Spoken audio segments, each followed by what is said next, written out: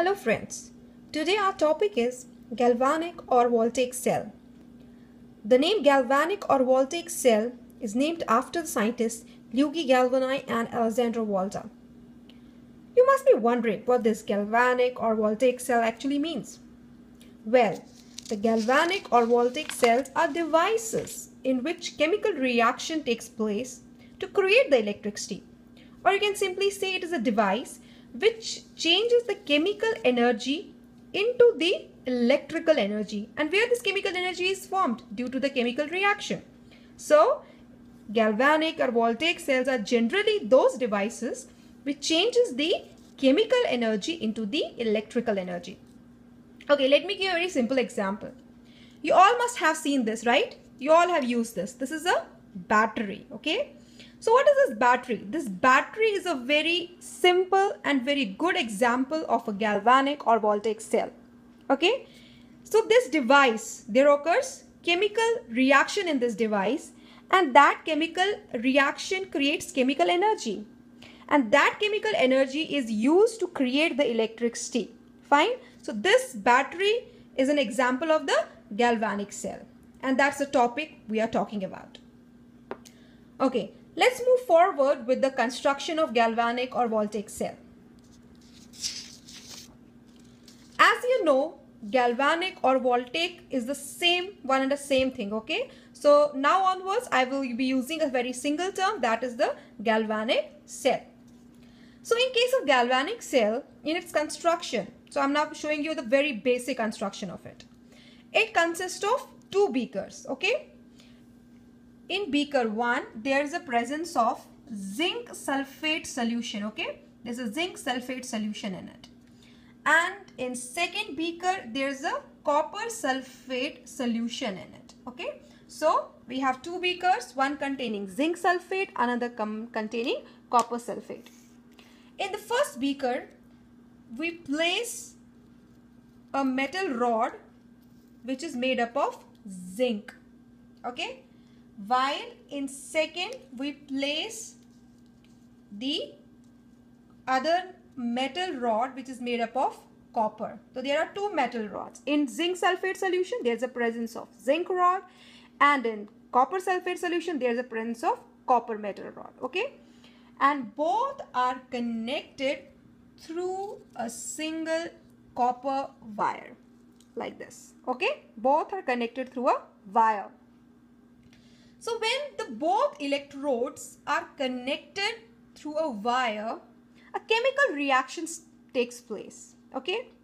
And in that chemical reaction, what happens? Electrons start flowing.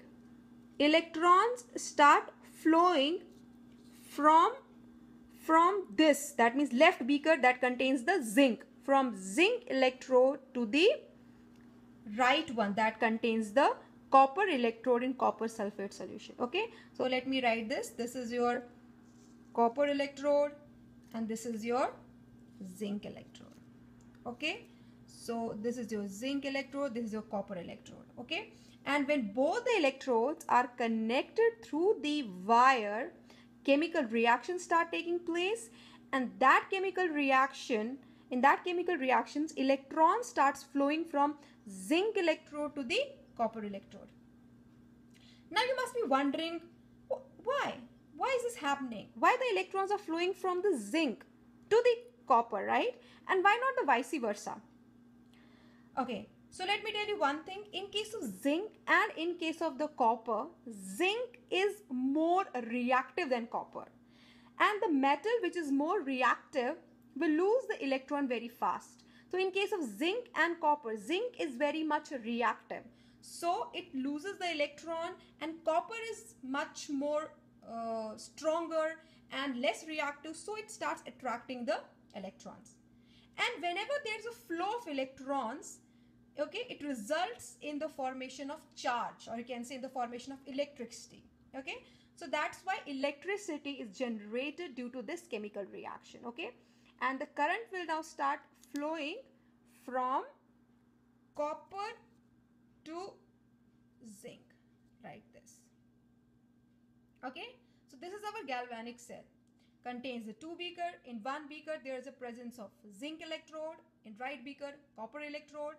Zinc electrode is dissolved in zinc sulfate solution. Copper electrode is dipped in copper sulfate solution. And when the two electrodes are joined together with the help of a copper wire, the chemical reactions start taking place and due to which electrons start flowing from left beaker to the right means zinc electrode to the copper electrode. And whenever there is a flow of electrons the electricity is generated. And thus electric current is generated from copper. From copper electrode to zinc electrode. Okay that means electrons is moving from zinc electrode to the copper electrode and the current is moving from copper electrode to the zinc electrode there's also a very important component present in the galvanic cell which is something like U-tube and it is just present between the two beakers which is called as the salt bridge. Okay, this salt bridge is present between these two beakers like this and it plays a very very important role in the galvanic cell, in the functioning of the galvanic cell. But I'm not going to discuss the function of galvanic cell in this video because I just want to keep everything very simple right now. So uh, I think I'm going to discuss the function of salt bridge and the working of the galvanic cell in the next video. Okay, so this is just a simple construction of the galvanic cell in which I have shown you the two beakers and the electrodes and from where the electrons are flowing and from where the copper from where the current is flowing. So this is all for the today. See you on the other video. Bye-bye.